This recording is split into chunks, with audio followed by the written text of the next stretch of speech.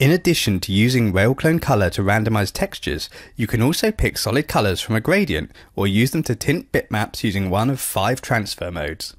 Let's use the floor tiles in this kitchen as an example.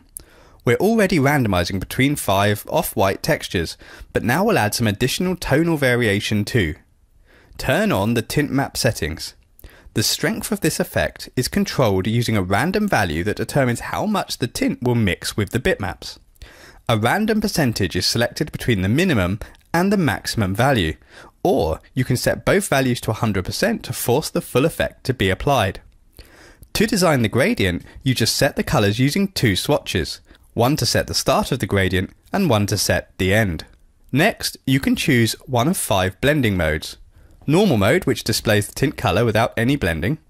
Additive, in which the RGB value of the tint colour is added to the RGB value of each pixel on the map average, which adds the tint color to the map color and then divides it by 2, and finally multiply, where the map color is multiplied by the tint color.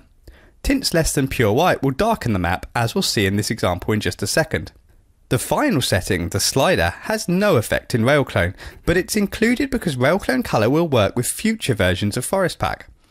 In Forest Color, this same setting enables you to choose between randomizing per mesh element at one end or per instance at the other.